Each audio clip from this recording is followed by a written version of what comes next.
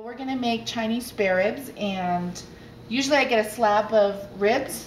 Uh, this one is about three and a half pounds or you can ask for as much as you want. But then if you just ask the butcher to cut it lengthwise so that the bone is about an inch thick. And then when I get it home, I try to see if it has that silver membrane on the back, on the fatty side. And then I try to peel that off. And then we have a pot of water on the stove because after, um, we're going to parboil the spare ribs first. So then afterwards you can trim some of the fat off.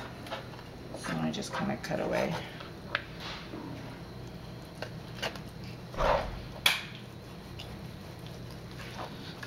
Most of the pieces are pretty lean.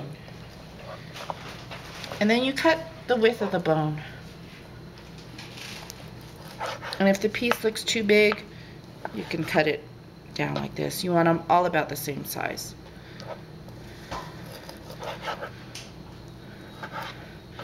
Not like that. So you just kind of follow along, cutting in between the bone.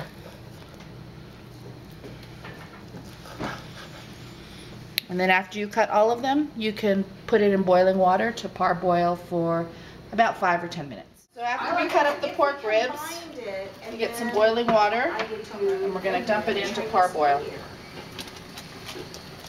Usually till the gunky stuff kind of floats on the top and then we just rinse it out in a colander and rinse out the meat really well and wash the pot.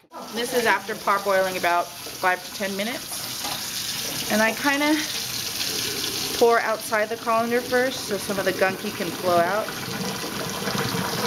And then I just dump it in the colander. And rinse it all off.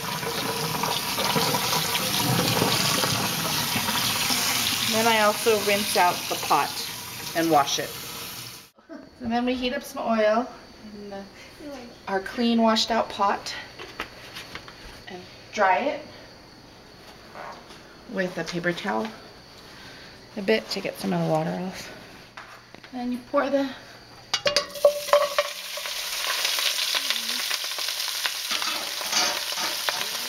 spare it around a little.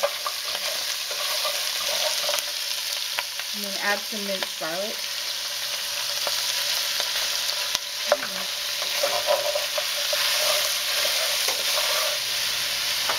Let it kind of sit a little bit. And then you put some soy sauce in. And oyster sauce. I like a lot of oyster sauce. And a little bit of cornstarch.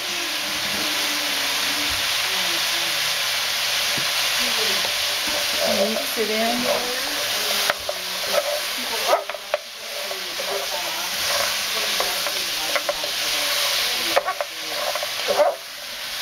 Try to get them all coated. And then let it cook for about 10 to 15 minutes on medium-high heat. You see it's browned a bit. And now we're going to add the fermented bean cake or fu yu. Usually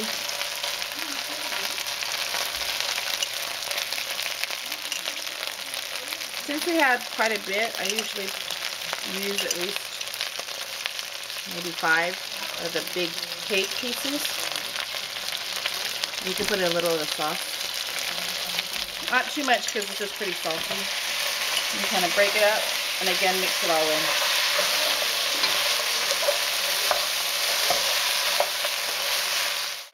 In five minutes and then you just kind of cover it with water.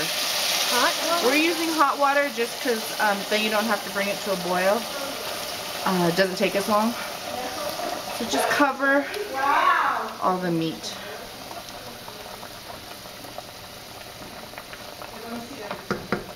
And then cover the pot and let it simmer. Turn it down a bit. So it's been about 20-25 minutes and we're going to add the potatoes now.